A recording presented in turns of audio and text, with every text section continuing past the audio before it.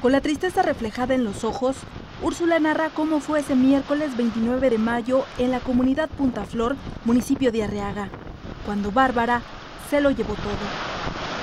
Estuvo bien horrible, nunca habíamos visto esos vientos tan fuertes que levantaban el techo de las casas, tiró árboles en la carretera, no podíamos pasar. Lo bueno que venían señores con unas motosierras y ahí este, sacaron pues las ramas del camino, pero sí estuvo bien feo, horrible. ¿Pudieron rescatar algo de sus pertenencias?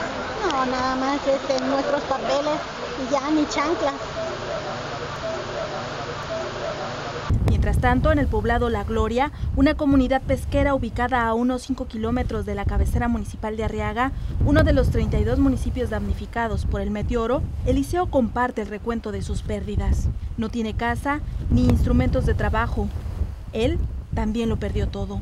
Para mí es una tristeza y un dolor porque muchos, la verdad, perdieron sus, sus casas, ropa y bueno, yo se me fue en mi motor, se me fue en mi lancha y muchas cositas más, pero gracias a Dios pérdidas eh, humanas no hubo. El portón se lo llevó todo.